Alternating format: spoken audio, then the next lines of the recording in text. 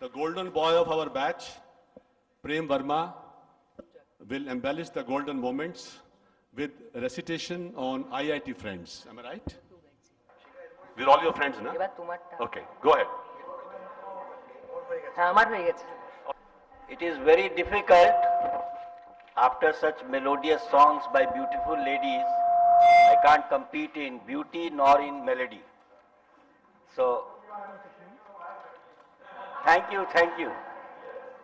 Uh, this I uh, down uh, one night I was sitting.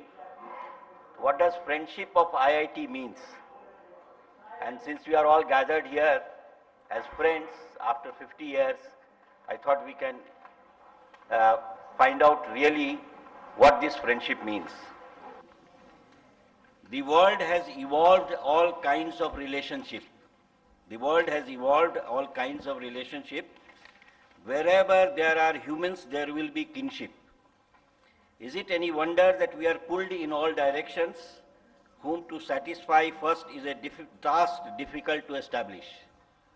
So this set tells you about, you know, the relationship and the pulls, various pulls and pressures.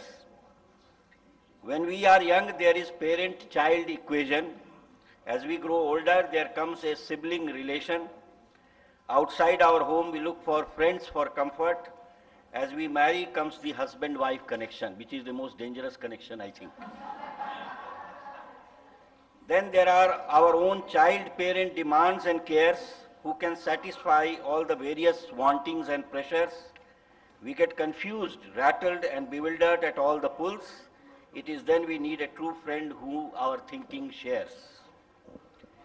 Based on the friendship we have evolved during the IIT days, we begin to believe that here we will find solace and comfortable ways even though we meet 50 years hence, it seems as fresh as yesterday.